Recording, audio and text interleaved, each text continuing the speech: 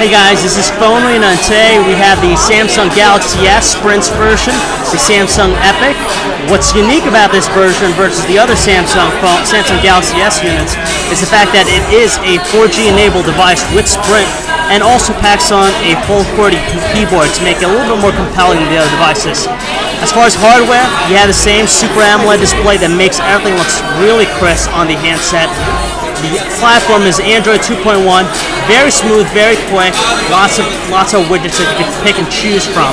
Overall, we're pretty satisfied with it, but uh, at its core, it kind of reminds us a lot of the uh, Sa- the uh, Samsung moment that we saw not too long ago with Sprint. It has a 5 megapixel autofocus camera with flash, I believe the only one out of all the Samsung Galaxy S models to have it.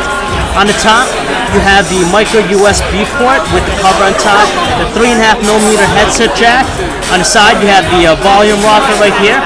And on the right side, you just have the camera shutter key and also a dedicated, dedicated power button.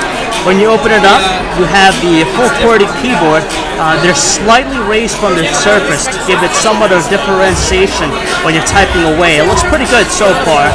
And again, just the experience of the platform is uh, pretty smooth, very fluid, very fast thanks to the 1 gigahertz uh, Hummingbird processor that's on board. So if you guys like to learn more about this handset, you can check us out at phonearena.com.